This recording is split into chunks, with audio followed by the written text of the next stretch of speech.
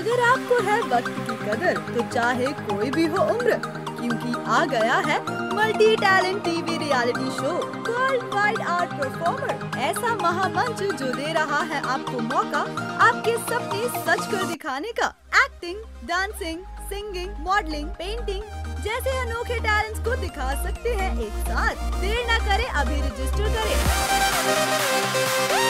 करें